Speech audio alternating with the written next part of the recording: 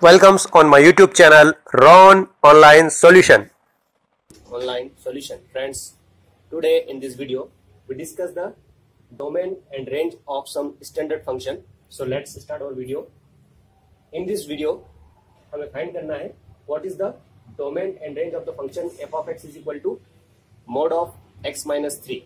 So first of all, we discuss the what is the domain and what is the range of the function. So basically, domain is what?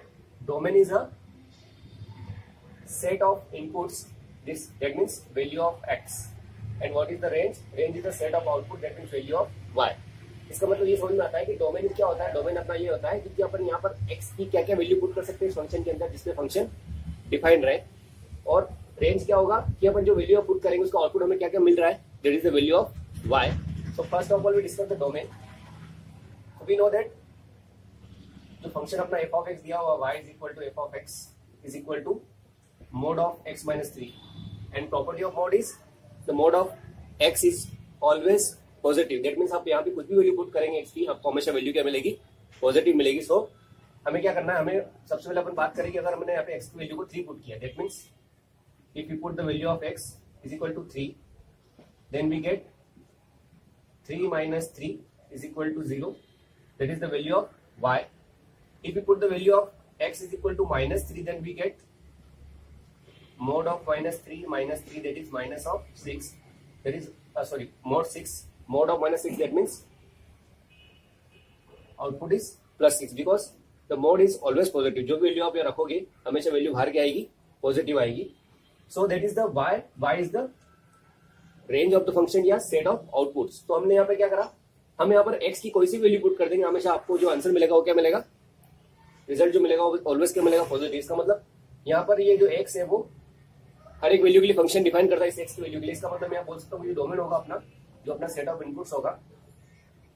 Domain is the x belongs to R that mean यहाँ पर x की value को हर एक real number को यहाँ पे put किया जा सकता है जिसपे फ़ंक्शन अपना डिफाइन होता है। So domain is the set of inputs that mean set of real number now what about the range what is the range of the function is अब देखिए, हमने यहाँ पर फ़ंक्शन की जो वैल्यू रखी, जैसे थ्री रखा तो हमें क्या मिला था? ज़ीरो माइनस थ्री पे हमें क्या मिला था? प्लस सिक्स दैट मीन्स जो भी आउटपुट आपको मिल रहा है, अगर आप यहाँ पर कुछ और भी रख के देखेंगे, जैसे आपने रख दिया f of minus under two okay so y is equal to what mod of minus under two minus three so minus of under two means minus of one point four one minus three mod of so minus minus क्या हो जाएगा? Plus that means ये हो जाएगा mod of minus three point four one that means three point sorry four point four one so value is always positive means x की हर एक value के लिए हमेशा पॉजिटिव हमें आउटपुट मिलेगा। इसका मतलब जो इसका फ़ंक्शन है always get value is greater than equal to zero इसकी जो फ़ंक्शन वैल्यू हमें मिलेगी एफ़ ऑफ़ एक्स की, वो हमें क्या मिलेगी? हमेशा always greater than equal to zero इसका मतलब मैं इस प्रकार से फ़ंक्शन को लिख सकता हूँ क्या? कि जो mod of x minus three है is always greater than equal to zero but less than infinite और यही हमारा क्या है? F x so we write this function as f of x और हमें निकालना है रेंज और हमारा रेंज क्या होता है? Y and y is equal to क्या होता है? F of x that mean ये फ़ंक्शन जो एफ़ ऑफ़ एक्स इसको मैं बोल सकता हूँ कि y is greater than zero less than infinite and that is the range of the function is zero to infinite क्योंकि वाई की जो वैल्यू कहाँ से कहाँ तक आ रही है ज़ीरो से लेके इनफाइनाइट तक।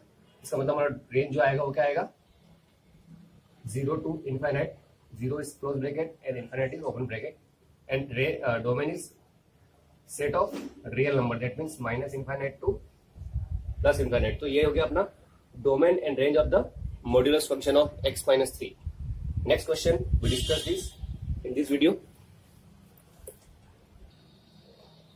now our next question is find the domain and range of the function f of x is equal to 1 minus mod of x minus 2 now first of all we define the domain and what is the range so what is the domain domain is set of inputs that means value of x and range is the set of output that means value of y so हमें domain की जब भी बात करनी होगी हम ये देखेंगे यहाँ पर x की वैल्यू को क्या क्या क्या पुट किया जा सकता है क्या क्या रखा जा सकता है x की वैल्यू को जिससे फ़ंक्शन हमेशा डिफाइंड रहे तो आप देखिए यहाँ पर x की कौन कौन सी वैल्यू को पुट किया जा सकता है जिससे फ़ंक्शन हमेशा डिफाइन रहेगा। क्योंकि हम ऑलरेडी जानते हैं कि जो फ़ंक्शन आप यहाँ रखोगे, ये जो फ़ंक्शन में लिखा हुआ है mod of x this function is always greater than और इक्वल टू ज़ीरो मतलब ये फ़ंक्शन हमेशा हमेशा अपना क्या रहता है? ज़ीरो से ग्रेटर देन इक्वल टू मतलब यहाँ पर फ़ंक्शन की हर एक वैल्यू पे एक्स की हर एक वैल्यू पे फ़ंक्शन अपना डिफाइन होता है। आगे लिखा है वन तो यहाँ पर जो भी नंबर आएगा, वो नंबर हमेशा पॉजिटिव आएगा। इसका मतलब कुछ भी करने पर आंसर हमेशा हम लोग को पॉजिटिव मिलने वाला है नेगेटिव नहीं मिलने वाला है। सो so, ये फ़ंक्शन एक्स की हर एक वैल्यू के लिए क्या करेगा?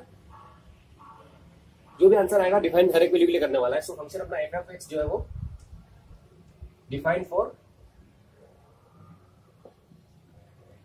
x belongs to R मतलब एक्स की हर एक वैल्यू के लिए फ़ंक्शन अपना डिफाइन करता है। इसका मतलब इसका जो डोमेन हो गया वो डोमेन क्या हो गया?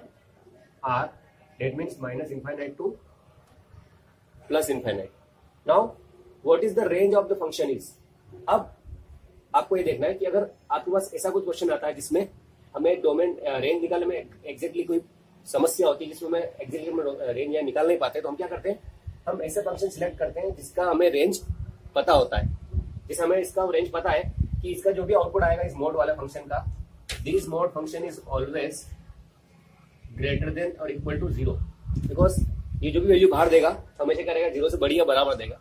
लेकिन हमारा रेंज निकालने का फ़ंक्शन कौन सा है? One minus mod of x minus two इस फ़ंक्शन को मैं थोड़ा रीअरेंज कर रहा हूँ इसको मैं लिख रहा हूँ कि mod of x minus two is greater than equal to zero and less than infinite इसका मतलब ये होता है कि ज़ीरो से बड़ा है लेकिन ज़ीरो से बड़ा है इसका मतलब इन्फाइनेट तक जा सकता है लेकिन उस वहाँ तक नहीं पहुँच पाएगा। सो so, अब हमें बताना है इस फ़ंक्शन को मुझे ऐसा कुछ करना क्योंकि मुझे रेंज किसी निकालनी है? One minus mod of x minus two की। तो ये हमारा वाई होता है। सबसे पहले हमें यहाँ पे क्या करना होगा? First of all we multiply the both side minus तो बोथ साइड अगर मैं माइनस को मल्टीप्लाई करता हूँ,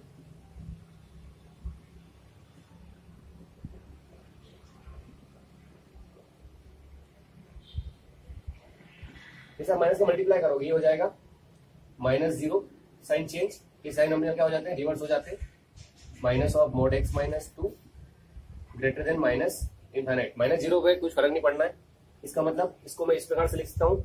रीअरेंज करूँ तो मैं ये बोल रहा है कि इसकी वैल्यू जो है माइनस इन्फाइनाइट से बड़ी और ज़ीरो छोटी इसका मतलब मैं थोड़ा सा इसको उल्टा लिखूँगा तो उसका मतलब वही रहेगा कि माइनस इन्फाइनाइट से बड़ी है value minus of mod of x minus two less than यहाँ पर साइन हट जाएगा ओके सो माइनस इन्फाइनाइट से बड़ा और प्लस ज़ीरो से छोटा। सो so, अब हमें यहाँ चाहिए बोथ साइड एड वन क्योंकि मुझे आगे वन भी चाहिए तो क्या करेंगे अपन? बोथ साइड एड वन करेंगे यहाँ पर। Both side add one so one add करने पे ये इसमें कोई फ़र्क नहीं पड़ता क्योंकि इन्फाइनाइट के साथ वन एड करोगे तो उसको कोई ज़्यादा फ़र्क नहीं पड़ता है। ये तो ऐसा रहेगा minus infinite one minus of mod of x minus two less than zero plus one कितना हो गया one so that is the actual function f of x in our question that means इसको मैं लिख सकता हूँ माइनस इन्फाइनाइट से greater f of x less than equal to one और इसी को अपन क्या बोलते हैं? Because this is the y because y is the output of the function so इसको अगर मैं इस प्रकार से लिख दू कि माइनस इंफाइनेट से greater y less than equal to one that means ये अपना क्या हो गया? Y is the set of output and set of output is range तो अपना रेंज आएगा यहाँ पर minus infinite to plus one that is the range of और function so that is the overall about the function domain and range of this two question it is very much time to question thank you friend for watching my videos please share comment also